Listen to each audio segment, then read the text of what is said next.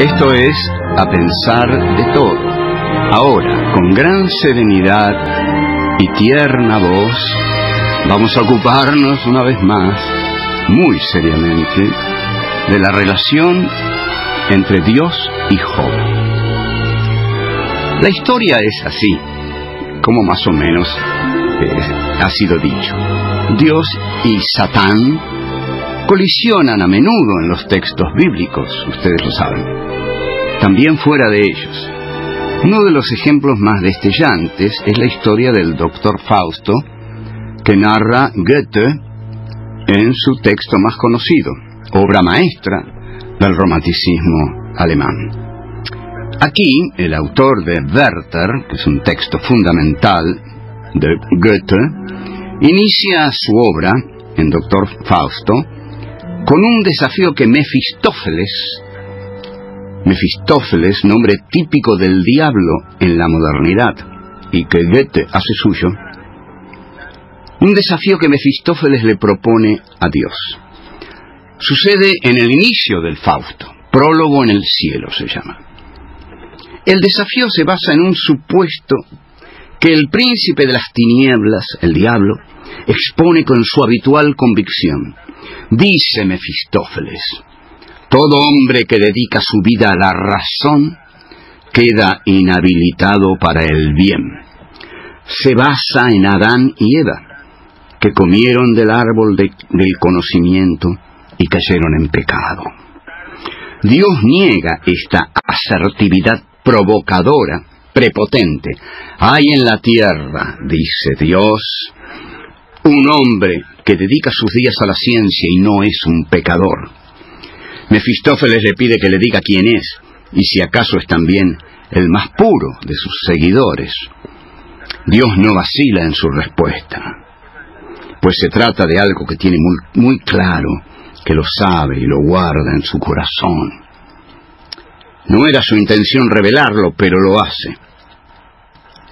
El más puro de sus fieles, dice, es el doctor Fausto. Mefistófeles apela a un recurso, a un recurso al que ya había apelado antes, la exigencia de una prueba. ¿Cómo se prueba la fidelidad de un hombre puro que no se revela contra su Dios y lleva una vida cómoda y próspera? ¿Se lo despoja de sus bienes o se lo entrega a la tentación de la carne. A esta segunda se somete el doctor Fausto. Ya se sabe, la tragedia de Fausto es enamorarse de una joven y rendirse a las seducciones de Mefistófeles al precio de poseerla. Todo es distinto con Job. Al fin y al cabo, Fausto cede a la tentación y se acerca a Satán. Sus padecimientos no son los del hombre justo, sino los del pecador insatisfecho. Más conmiseración nos despertará Job, ya que no hay en él pecado alguno ni tentación a la que se haya sometido el anónimo autor del libro de Job, porque el libro de Job tiene un autor, es un gran libro en la Biblia. El anónimo autor de Job sabe bien tratar su material. Lo lleva con mano maestra hasta sus extremos. Se calcula que el libro de Job es del siglo V antes de la era cristiana, o sea que el libro de Job, que es tan filosófico, es del siglo V antes de Cristo, el siglo en que floreció la filosofía en Grecia. Los estudiosos, los que estudian el libro de Job, luego de detectar que el texto, que es, lo juro, ¿eh? una verdadera obra maestra, interesantísimo, los estudiosos, luego de detectar que el libro de Job está desbordado de aramaísmos, deducen que la historia sucede después del destierro del pueblo judío, época en que la idea de nación, ya superada, se reemplaza por la del destino individual. Hay otro destino individual. Preguntemos esto, por favor, preguntémoslo. Hay otro destino individual más fascinante que el de Job. Es, por el contrario, uno de los destinos individuales más fascinantes de la historia humana. El de un hombre que se enfrenta a Dios. El siglo V antes de Cristo, caramba. El de un justo que sufre injustamente. Y este es el gran tema del libro de Job, de Job. El de un justo que sufre injustamente. ¿Cuántos que sufren injustamente y son, sin embargo, justos conocemos? ¿Cuántos conocemos? ¿Cuántos inocentes conocemos que sufren tormentos, que pierden la vida, que mueren por enfermedades terribles, que son sometidos a la injusticia y que sin embargo son inocentes, son justos, como lo era Job. De aquí la importancia del libro de Job. Job le va a decir a Dios, por primera vez en la historia humana, yo no tengo que sufrir, yo no merezco sufrir, no merezco esto que me das, porque yo te he sido fiel y soy un hombre justo. Bien, aquí el disparador es también Satán. El título del capítulo primero de Job es precisamente Satán prueba a Job. En verdad, el que va a probar a Job a petición de Satán es Dios. El, el relato bíblico eh, es muy semejante al relato del Fausto de Goethe, o mejor dicho, al revés. El relato que hace Goethe está tomado del libro de Job, porque Satán es quien le dice a Dios que ponga a prueba a Job, que es muy fácil tener fe cuando se vive en la abundancia de la bondad divina. Pero hay que ver si ese hombre sigue teniendo fe cuando padezca la injusticia divina. Entonces, Yahvé, Yahvé, que es el nombre que de Dios en la Biblia de Jerusalén, que es la que más les recomiendo, es la mejor Biblia que ustedes se pueden conseguir, muy buena. Entonces, Yahvé le pregunta Satán, ya que anduviste dando vueltas por la tierra, Satán, ¿has visto por casualidad a mi siervo Job? Observen la simetría con Wilhelm Goethe, en Goethe, Dios le dice a Mefistófeles, no, hay un hombre sabio en la tierra, a quien la ciencia no ha trastornado. Ese hombre, ese hombre es un fiel que me sirve fielmente, es el doctor Fausto. Y Mefistófeles va a tentarlo. Es el mismo esquema que eh, Job, ¿no? Eh, ahora, entonces, aquí Dios le dice, que Job no lo quiere ni le es fiel por todas las riquezas que le ha dado, que Job es bueno, es puro. ¡Ja! dice Satán, no bien le quites todas sus riquezas. Ese siervo fiel, ese hombre puro te, te maldecirá cara a cara. ve, cae Yahvé cae, cae, cae en la trampa de Satán y lo autoriza a ponerlo a prueba. Bueno, está bien, pone a prueba a Job. Te lo autorizo, Satán. A partir de aquí, todas las desgracias empiezan a llover sobre Job, sobre el fiel Job. Mueren sus hijos, mueren sus hijas, Job acepta. Rasga su manto, rapa su cabeza y cae en tierra humillado, Pero dice, desnudo salí del seno materno, y desnudo volveré a él.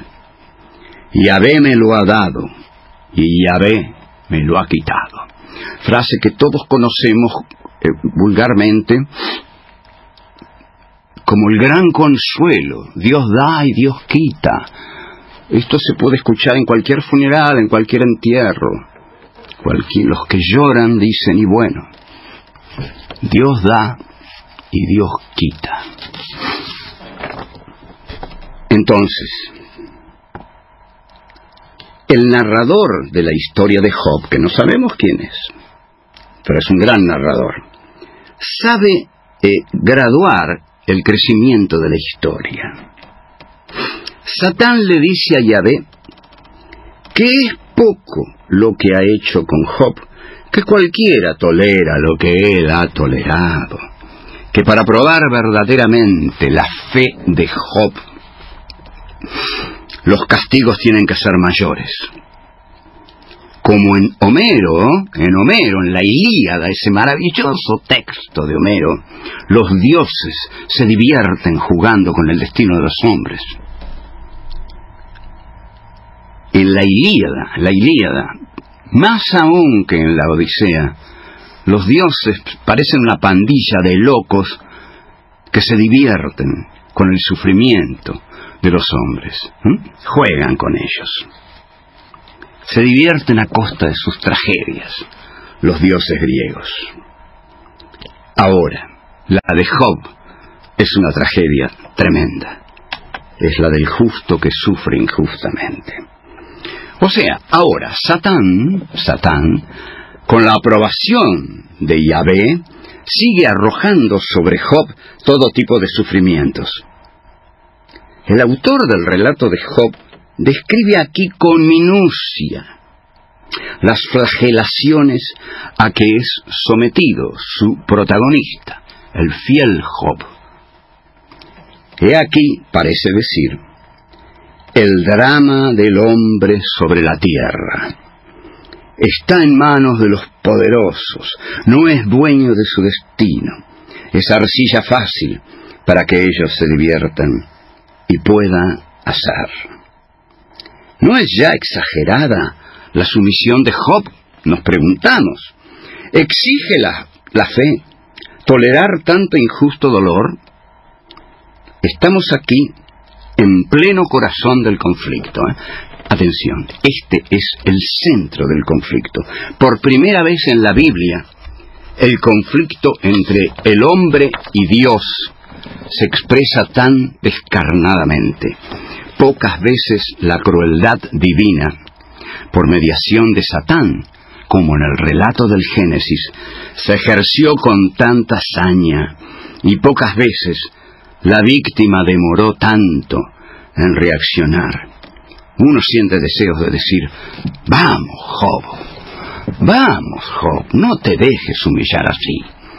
No te dejes, no te sometas tanto a ese Dios arbitrario que no tiene pena de vos, que te castiga, que te humilla, que te exige tanto. Sos un hombre. Nunca escuchaste hablar de la libertad, Job.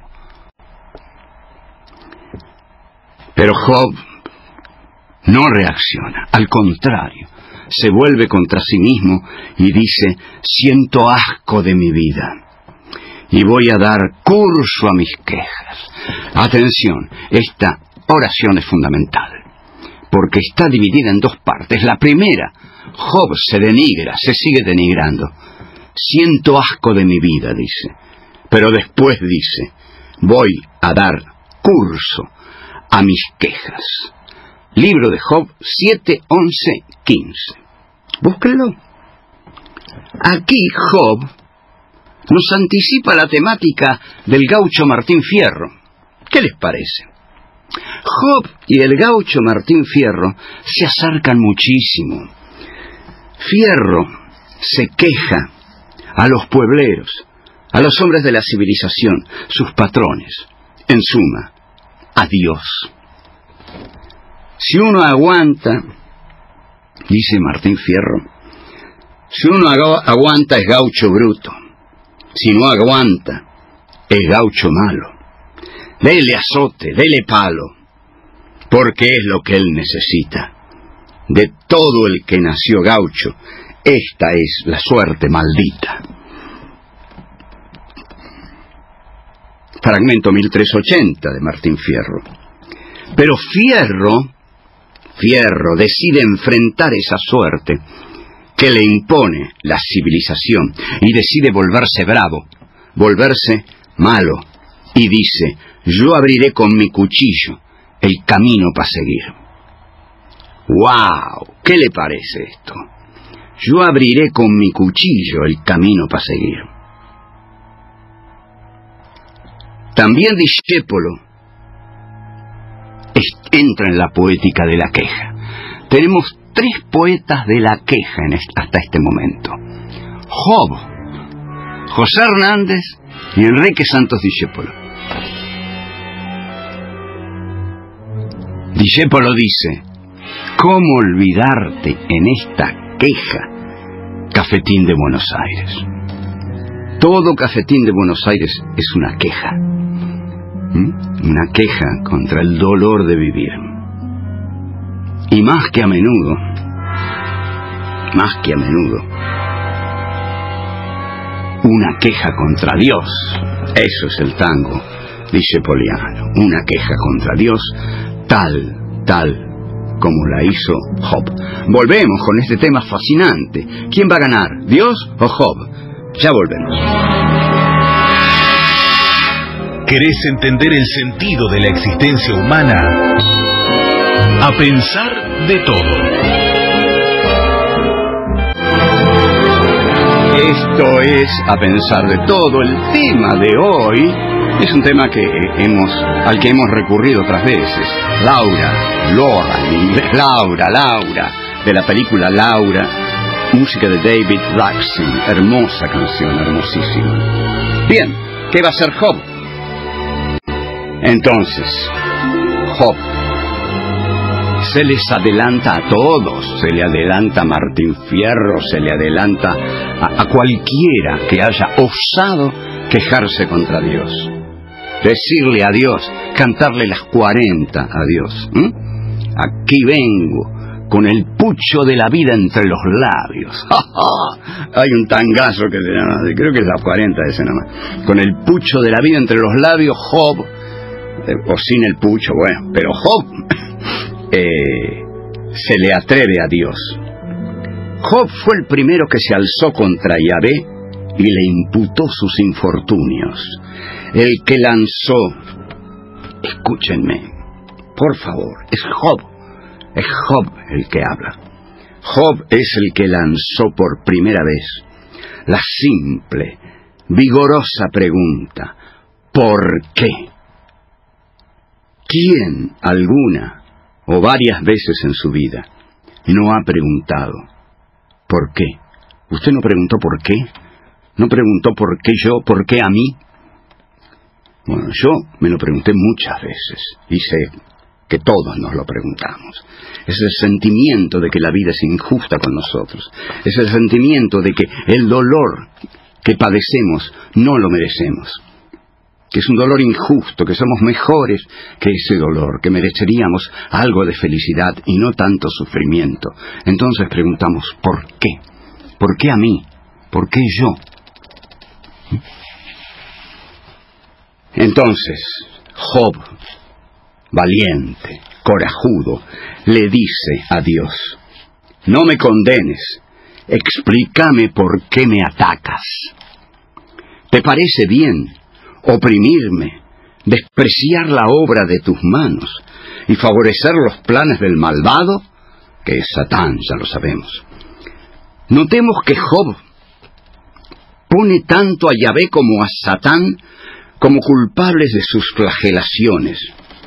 Si Dios, dice Job, favorece los planes del malvado, atención, escuchemos a Job, si Dios favorece los planes de Satán, ¿qué diferencias vamos a encontrar entre uno y otro? Y en pleno, ardiente conflicto, Job arroja una de sus quejas más profundas. ¿por qué me sacaste del vientre? Habría muerto sin que nadie lo advirtiese. Sería como si no hubiese existido, conducido del vientre a la tumba. Qué breves los días de mi vida. Aléjate de mí, déjame gozar un poco antes de que me marche y ya no vuelva. Antes de que me marche al país de las tinieblas y de las sombras, al país oscuro y en desorden, donde la claridad parece sombra. Son complejas y variadas las expresiones que tiene el sufrimiento humano. Hasta podría decirse que desde su dolor, y discúlpenme, pero para mí el humor es algo muy importante para entender todo, o sea, la existencia humana en totalidad. Job, desde, las complejas expresiones que le arroja a Dios, inventa el bolero inventa el bolero. Cuando Dios, cuando Job dice, aléjate de mí, déjame gozar un poco, inventó el bolero. Bueno, con esta tesis un tanto este, alocada, alocada, digamos, para, para darle un calificativo cariñoso, eh, es que ofrecemos esta tesis para reflexión de todos, para también para, para gloria del bolero, ¿no? Aléjate de mí, etcétera, etcétera. Y también del tango, ¿no? Déjame gozar un poco, déjame gozar un poco, ¿no? Eh, bueno, esto también tiene una carga erótica fabulosa, en fin, el libro de Job lo tiene todo, y como lo tiene todo, no lo podemos terminar hoy, pero lo vamos a terminar sin duda, el próximo programa es un gran libro, el libro de Job. La Biblia es muy entretenida si se la sabe leer. Bueno, chao, chao, me voy, chao.